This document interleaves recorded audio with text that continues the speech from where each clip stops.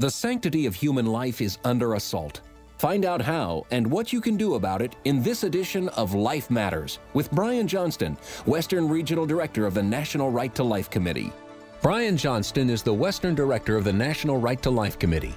He has served in many capacities while advocating for innocent lives as California Commissioner on Aging, as Chairman of the California Pro Life Council, on the board of the National Legal Center for the Medically Dependent and Disabled and now here's our host, Brian Johnston.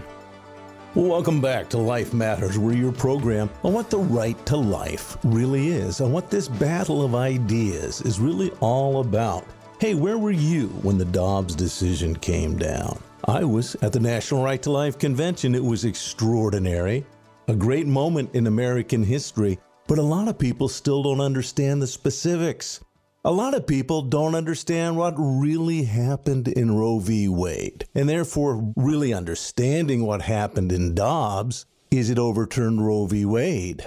That is an incredibly important aspect. If you think you already know what Roe is, but you haven't grasped it, you're going to have a hard time understanding the battle that our nation is now in, in this battle of ideas. We're going to cover a lot of stuff today. We're going to go over some of the stuff from the National Right to Life Convention by the way, you can go to nrlcconvention.com. You can find out all of the many workshops because once you understand what the right to life is, you're going to understand there is a lot here. It impacts our whole society. And today we're going to cover the waterfront. I'm going to talk about Jack Nicholson, among other things. But I'm also going to talk about adoption. I'm going to talk about religion. You're going to get some exposure to that. That's just a sampling of what you have to understand. Some people have gotten back to me and they really appreciated a recent program I did on the two Justice Jacksons. Yes, that's right. There are two Justice Jacksons in recent American history. One is Robert H. Jackson of the Supreme Court. Another is the brand new Supreme Court Justice, Ketanji Jackson. And in that program, it is episode 282.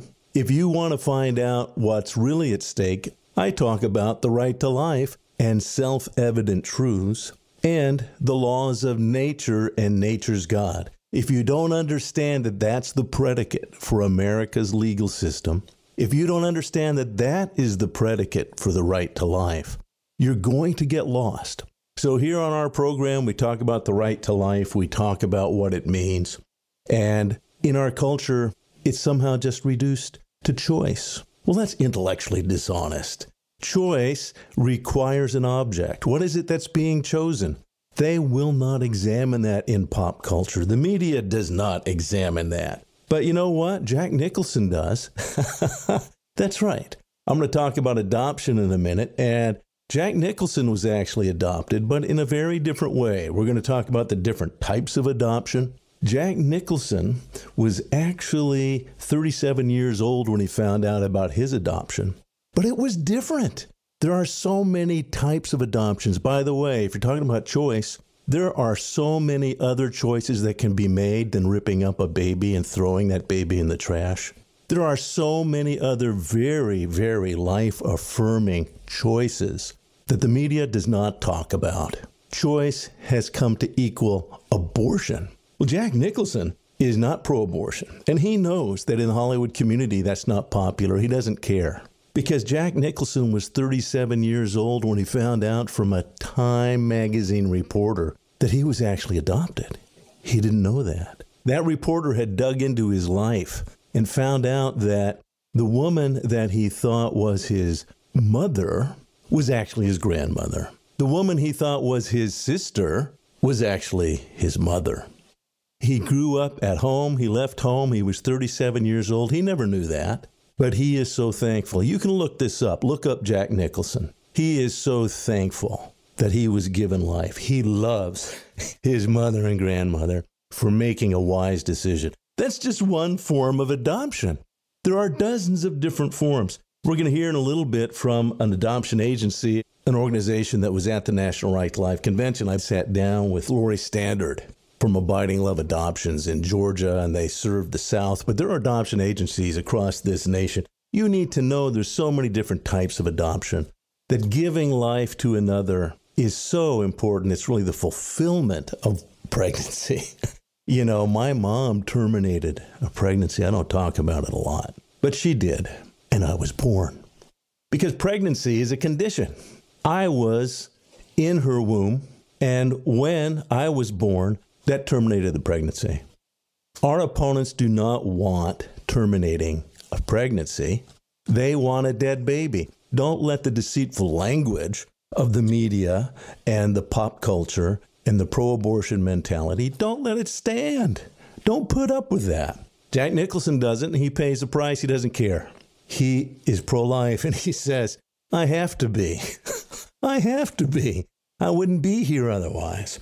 It's a great story. Now we're going to hear just now from Lori Standard. She's going to talk about a particular type of open adoption that they use at their agency. But you need to know there's many types of adoption. Again, Jack's situation is just one. But most often there are agencies involved, and sometimes there are closed adoptions. And that's when the, the mother doesn't want to meet the couple. And they don't ever meet. It's all done by intermediaries. Usually attorneys are involved. But that's called a closed adoption. Then there's a partially open adoption.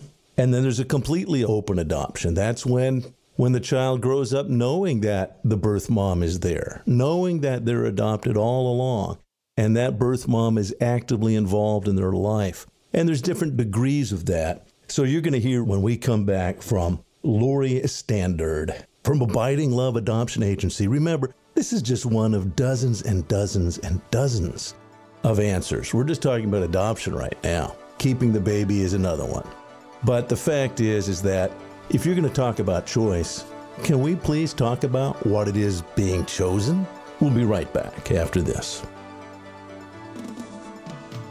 You're listening to Life Matters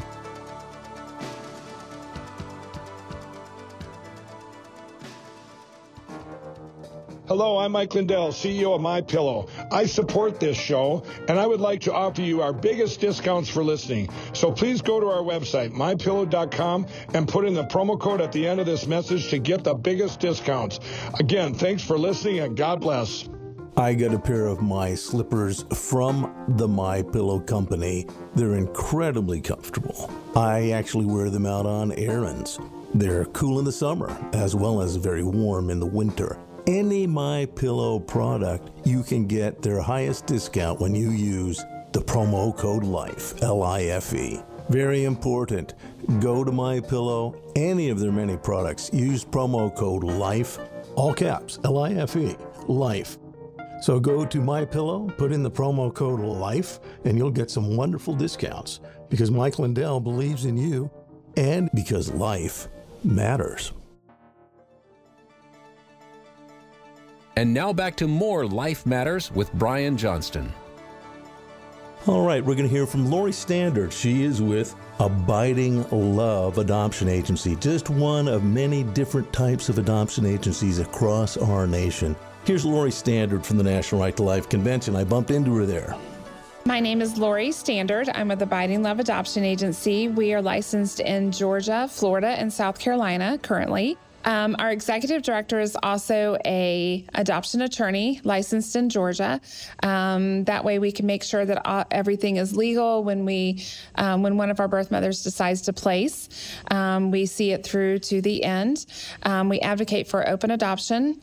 We try to connect our adopted families that come to us through consultants um, who match with our birth mothers. We try to connect them early on so they develop a relationship so they can also, um, you know, get to know each other instead of just showing up on the day a baby's born and um, making a placement. Um, we advocate for women, especially, especially if they do not want to place, they change their mind and want to parent. We're okay with that. We will support them in any way they want. If they decide to place, we see them through to um, through revocation in all the states. We get them through post placement, and then um, six weeks after post placement. We move them into our uh, Abiding Love Charities side, nice. which is um, supports women in education. We've just launched our new SEEN curriculum. It's S E E N. Whereas we see women, we we hear them, we see them we want to advocate for them. So we've just launched our new SEEN curriculum. That um, is gone into the PRCs, the um, pregnancy resource centers, and uh, we set that curriculum where they can start their own birth mother support groups and use the curriculum to help further educate and support those birth mothers. Well, that is excellent. And one of the things I think people generically as a culture we're being told by the abortion industry and really by the culture at large, oh, don't don't adopt. Don't adopt that baby out. That that baby is that's your baby. That's terrible to give them up for adoption. And so there's a generic war against adoption.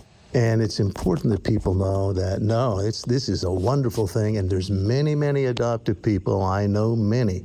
And they're so glad that they were allowed to live. That's correct. And um, I think what what we are trying to do as a society that are pro adoption especially Abiding Love Adoption Agency, we're trying to get the word out there that open adoption can work, that there's a relationship formed between the birth mother and the adopted family where that child is given a chance to know everybody. Yes, there's going to be hurt. You can't say that when a, a mother walks away from a hospital after placing her child that there will not be hurt. You cannot say that there's not going to be hurt when an adoptive family who cannot conceive child, you know, walks away because a mother decides to parent. Mm. Um, there's going to be hurt on both sides. Somebody's going to be hurt, but that's where God's grace comes in, and that's where we come in to help educate these families and and show them how open adoption does work and can work, and can heal both sides of that eventually because that child wins, and if the yes. child wins we all win because it, the child was not aborted. The birth mothers understand there is a choice, and that's why we're trying to get into the pregnancy resource centers to explain here's your other options. Yes. Adoption is not scary. Um, it is, it can be one of the best things in the world but it has to be done right. And we're trying to educate those pregnancy resource centers on how it is done right and how it is working. And here's our families that are working it. That's wonderful. And I think culturally, people tend to think, well, that's just conservative Christians that are pushing that. But I look back and culturally, a- as a nation, I think we're moving that direction. The film Juno, yes, I think was very clever. It was cute. Very, it was cute, but really underscored exactly that this is an issue of, of a human being. Yes. And life, and it really, I think, underscored that a woman does intuitively know. And the young girl who portrayed Juno, that uh, that was cute. I said, "Well, who's the kid?" well, I don't know, but he's got fingernails, mm-hmm. which was a very cute response. Yeah. But it's it's intuitive. A mother knows that that's a child, yeah, and to give that child life, exactly, is a privilege. It's a privilege. And as a mother of five children, I do not have any adopted children. I have three stepchildren, which I consider my bonus children. I did not give birth to them, but I would do anything in the world for them.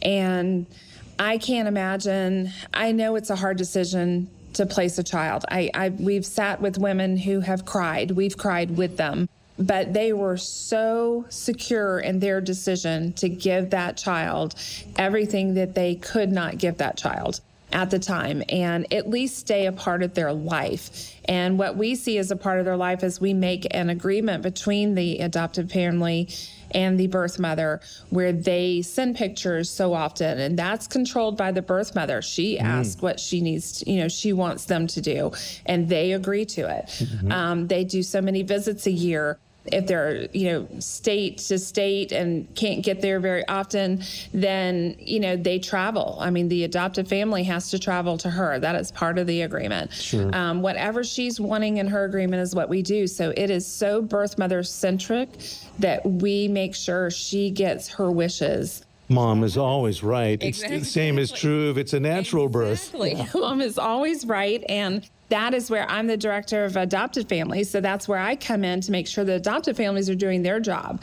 and that proper boundaries are being set up and everybody is working towards the same goal, which is the child and the child that you want to give life to. So that is our bottom line, and that's what we want to do. Oh, that's wonderful. And as I said, you can find out more about the National Right to Life Convention. I bumped into Lori, spent some time with her at the National Right to Life Convention. That's when the Dobbs decision came down. If you go to NRLCconvention.com, You're going to hear about next year's convention in Pittsburgh.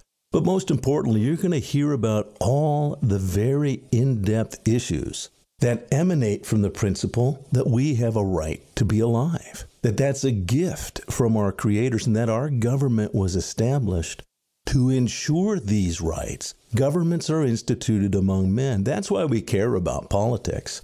The laws are established so that they will protect the innocent from being killed. That's the very first assertion. That's the very first right. By the way, make sure when you're talking about rights, don't let people get away with saying this is a right or that is a right. Many people confuse what a right is. And the fact is is that's a very specific legal privilege. And we know that the essential rights we're given are given by our creator. That's a principle of the American founding, and a just government will ensure those rights that you've been given by your Creator.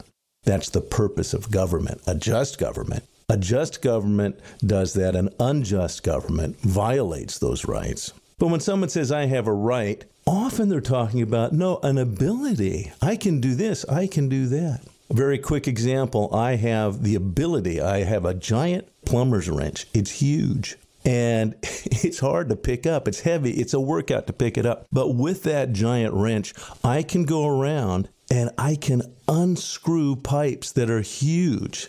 And if I then went out and started using that on the fire hydrants in my neighborhood, because I can, and I've decided I'm going to. Well, just because I have that ability, that's not a right. And thank God there are policemen, and first it'll be the firemen that show up first. And they're going to tell me, buddy, you don't have that right. That's not a right. But many people, again, confuse their ability to do something. And you do. You have many abilities in a free nation, but they're not necessarily rights. Make sure that when this notion of a right, I have a right to do this, I have a right to do that, make sure that you examine what it is that's being asserted just with choice. Again, when it's talked about that you have the right to choice, say, hey, well, let's get specific. Choosing what? Choosing hair color? Yeah, yeah, I don't have a problem with that. Choosing clothing? Okay. Yeah, you have you have that ability to choose what clothing you want. Choosing to kill a human baby and throw it out? Well, wait a second. Let's talk about that. That's a very specific thing. It involves another person, just as my taking off the fire hydrant involves other people. So it's not a right. We have to talk about specifics in our movement. We're going to talk about more of that when we come back. You're listening to Life Matters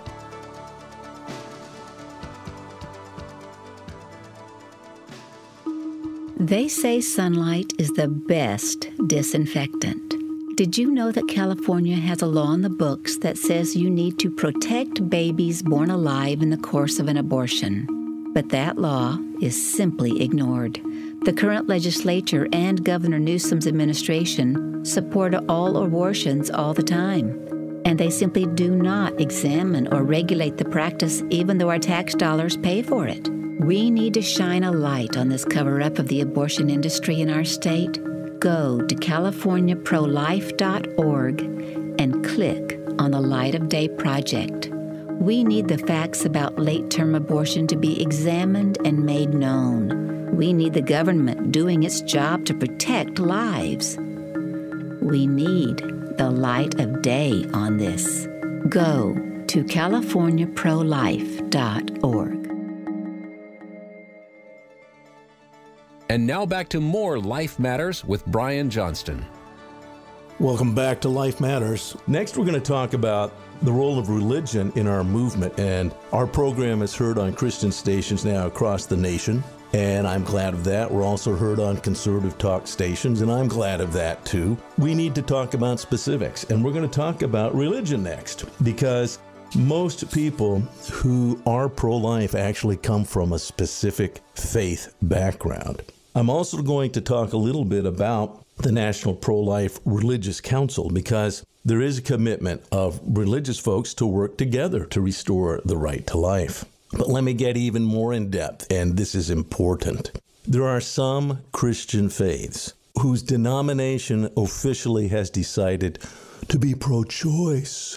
They haven't been intellectually or morally honest about the real implications, the full implications. They've decided to tap into religious relativism, a relativistic thinking. Again, earlier podcast, if you go back in our podcast, we've dedicated several podcasts to religious relativism within the pro life movement. And so it's very common for religious people, they may think they're dealing with absolute truth, but the tendency is actually to get relativistic. And there are certain denominations, United Church of Christ, the Wesleyan denomination. There are certain denominations that actually have adopted a pro abortion position and said that's okay with our particular denomination. And you might be in one of those denominations.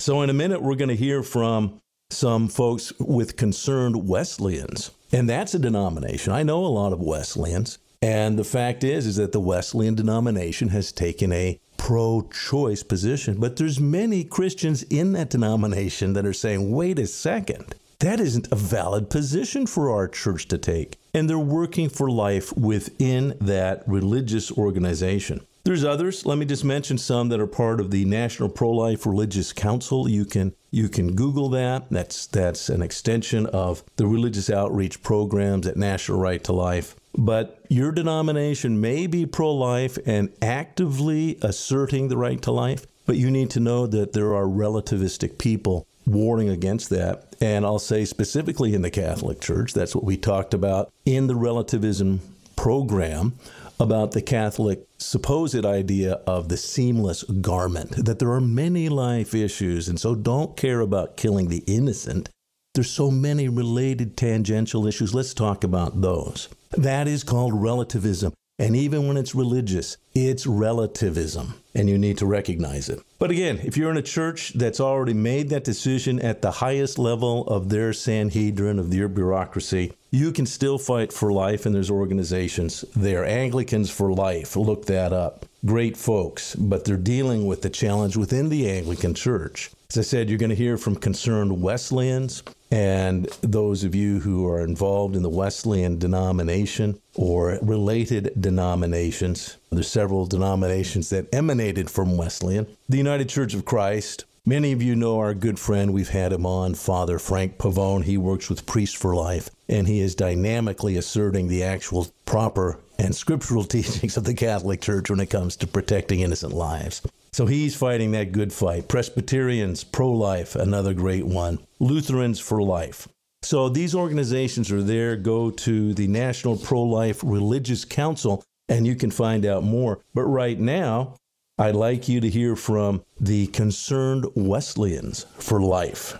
Well, I'm at the National Right to Life convention right now with Alan Morris. And Alan Morris, tell us about what you're doing with Concerned Methodists. Okay, uh, first of all, I'm a layman. I'm not uh, clergy, but I felt called by the Lord to contend for the faith in the United Methodist Church. Historically, it is the denomination itself, founded by John and Charles Wesley, with Susanna Wesley's strong influence, uh, very centered on the Bible and on biblical values, and fully on Jesus Christ as Lord and Savior. But over the years, it has just really become very corrupted. It it uh, tends to support a uh, plethora of left wing political issues.